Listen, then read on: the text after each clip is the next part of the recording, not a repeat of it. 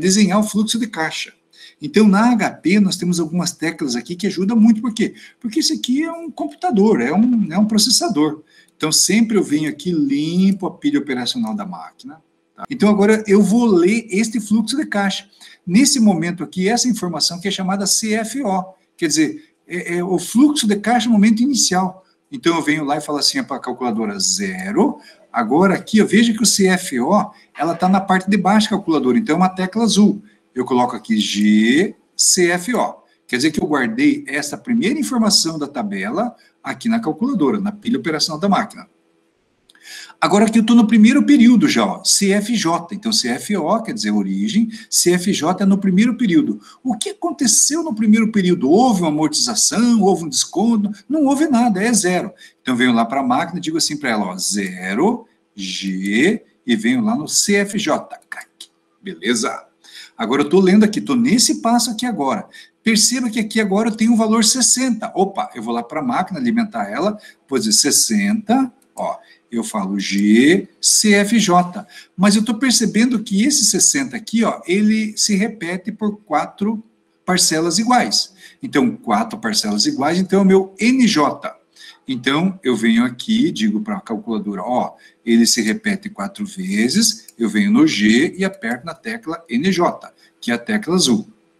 Agora, aqui a taxa é 2%, então simplesmente eu venho aqui 2i, e para mim encontrar quem é o valor né, desse pagamento, né, desse novo valor principal, eu venho aqui e digo, aperto nessa tecla F, ó.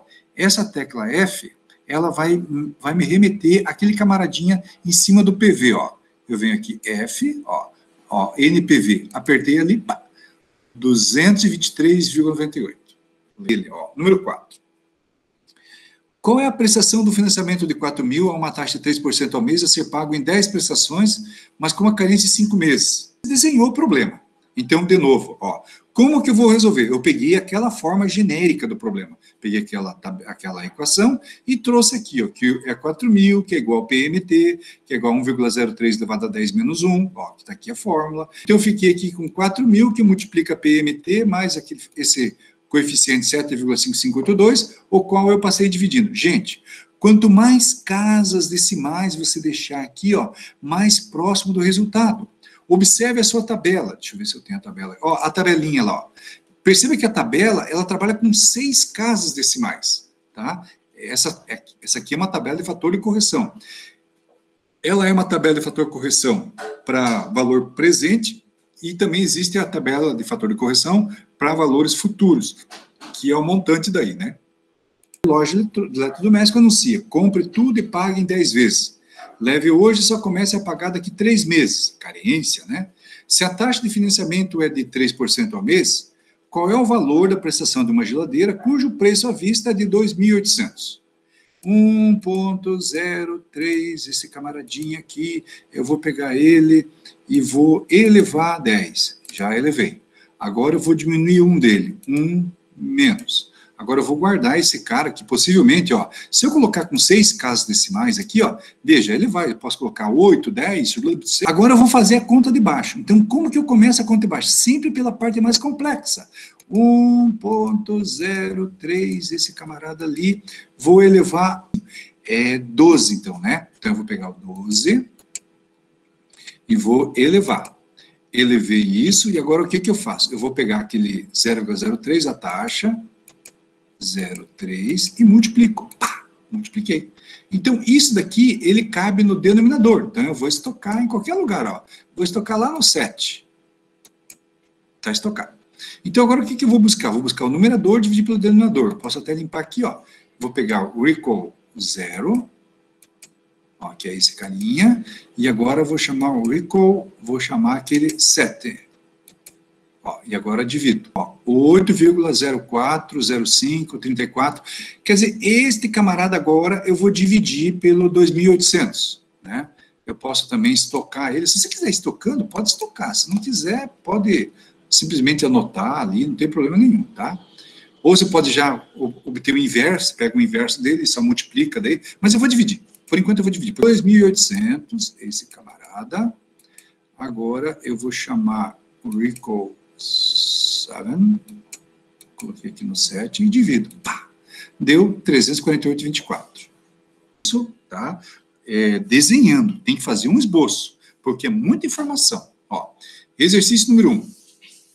Qual é o valor da prestação mensal sem entrada? Opa!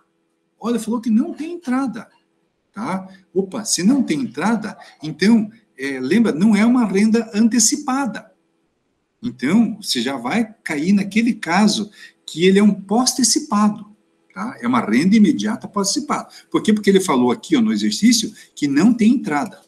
Deu um financiamento de 10 mil. Então, claro que essa quantidade de zeros aqui vai aumentar, depende do contrato. Esse aqui é um problema bem fictício, só para efeitos de verificação de fórmula mesmo. Ó. Com um prazo de 12 meses, então meu M é 12 meses, a uma taxa de 3. Ó, então? Sabendo que além das prestações mensais, serão pagas duas parcelas intermediárias semestrais. Opa, no próprio contrato já constou ali, ó, é de 3 mil, duas parcelas semestrais de 3 mil. Show de bola. Então você veio aqui e descreveu, ele quer saber qual é o valor da parcela, quanto que eu vou pagar sendo que daqui seis meses vai entrar 3 mil e dali mais seis meses vai entrar o outro 3 mil num financiamento de 10 mil. Tá? Então, perceba, ó, aqui estão os dados do problema e aqui está o desenho.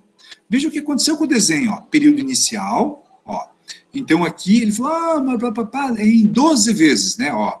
Então, ele falou que é 12 meses. Então, você começou lá. Tenho 12 períodos aqui, 12 meses. Tá. Qual é a taxa? Eu coloquei lá o 3. É, o que aconteceu com esse 3 mil? Ele vai pagar daqui, no, no, daqui a seis meses, então o período inicial não conta, né? Daqui a seis meses ele paga 3 mil e no final do contrato ele vai pagar os outros 3 mil. mas no que, que a gente está procurando mesmo? Eu estou procurando saber, ó, nessa primeira parcela, quanto que ele vai pagar? Nessa segunda parcela, nessa terceira parcela. Gente, esses valores são valores fixos são valores que não oscilarão. Legal? São elementos que vão estar fechadinho ali. Então, tá bom. Então, vejamos, ó. O MT é o AN, que é o valor atual, né? É, valor atual de 10 mil, foi colocado ali, menos aqui PMTI, é, que é o 3 mil. Então, aqui, o que, que a gente fez? Nós calculamos aqui, ó, que era aquele valor é, dos balões, ó, é 3 mil e 3 mil. Um é dado no período 6 e o outro é dado no período 12. Você pegou e fez essa, fez essa divisão, fez essa divisão, somou todo mundo, né? Veja que aqui eu até eu coloquei um colchete para você verificar o que está acontecendo ali, ó. Aí você faz o quê? Diminui isso em 10 mil. Legal? E aqui se faz o quê? Aqui é aquela parte da fórmula da, da pós-antecipada. Então, é o que der, o valor que der aqui que multiplica, né? Ó, o valor que der aqui que multiplica quem? Que vai dar 540,83. You.